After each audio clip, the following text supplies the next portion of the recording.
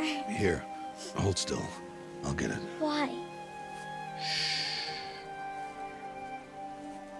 Why am I an outcast? Aloy, this is not the time. Who was my mother? Aloy, I've told you before, that's not for us to know. You were just a newborn when the matriarchs brought you to me. So the matriarchs, they know? It's not so simple. But they know. Aloy, we are outcasts. So how do I make them tell me? The matriarchs? There is a way, perhaps. So tell me. It would be dangerous. How? It would take years of training. I don't care. How do I do it? Tell me. The proving. The tribe's rite of passage held every year.